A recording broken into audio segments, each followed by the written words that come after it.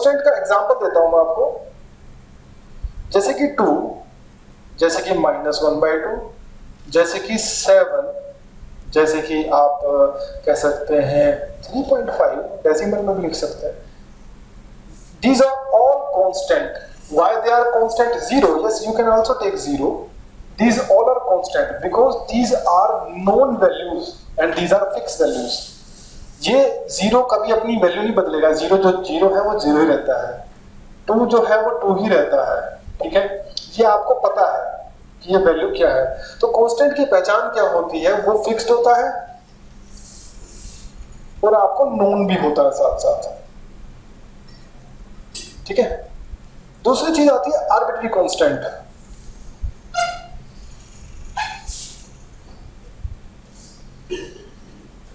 जैसे कि कांस्टेंट तो मैंने बोल ही दिया। तो कांस्टेंट का मतलब ये एक फिक्स वैल्यू तो है। और क्योंकि लिखा आर्बिट्री आर्बिट्री का मतलब अननोन अननोन जैसे कि मैं आपके सामने एक ताश की गड्डी में से एक पत्ता निकालू, और पत्ता निकालने के बाद उसको टेबल पे रख दू तो जो उस पत्ते की वैल्यू है, और आपको दिखाया नहीं मैंने पत्ते। पे क्या लिखा हुआ ये नहीं दिखाया।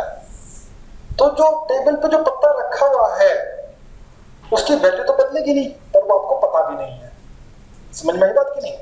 वो आपको पता भी नहीं है और उसकी वैल्यू बदलेगी भी नहीं। तो अननोन है।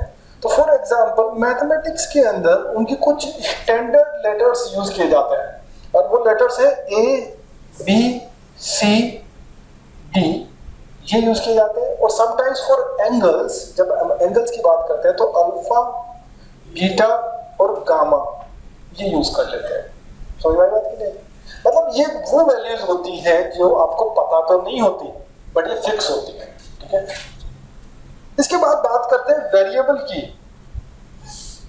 अब वेरिएबल जैसे कि नाम है, अपने नाम से ये बता रहा है कि मैं वेरी करूँगा।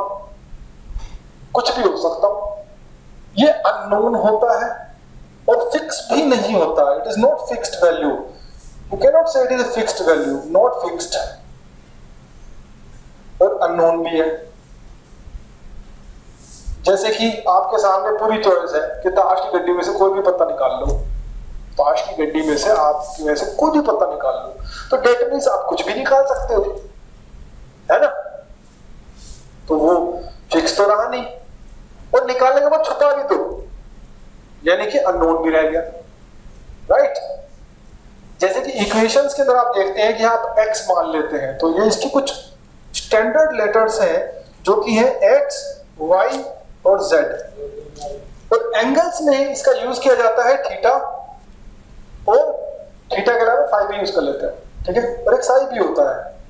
साई भी यूज़ कर लेते हैं। अगर खत्म हो गया तो साइज़ भी यूज़ कर सकते हैं। मान लीजिए हमारा एक इक्वेशन के अंदर, एक पर्टिकुलर क्वेश्चन के अंदर हमने थीटा फाइव यूज़ कर लिया तो साई भी यूज़ कर सकते हैं। आगे चल के आप जब पढ़ेंगे तो आपको ये लेटर्स भी देखने को मिलेंगे। एक्स वाई जेड तो से तो आप फैमिलियर हैं। तो वेरिएबल्स के लिए एक्स वाई जेड यूज़ किए जाते हैं, जो कि अननोन होते हैं और नॉट फिक्स्ड होते हैं। हाँ इक्वेशन के दौरान अगर आप उसको सोल्व करके कोई वैल्यू निकाल लेते हैं तो वो कॉन्स्टेंट होगा